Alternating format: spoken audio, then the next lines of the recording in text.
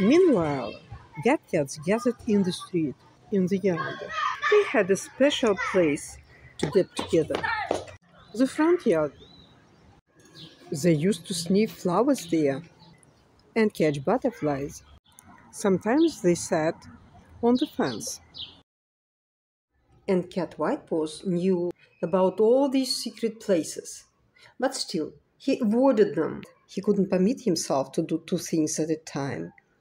He wanted to finish one thing, to be certain about it, and then share it with his friends.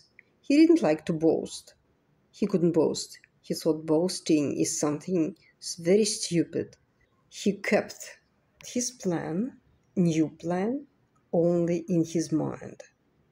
Actually, he did share other plans with the Yat Cats because they were so supportive. He wanted to share it with somebody who definitely could understand, could get what he was saying.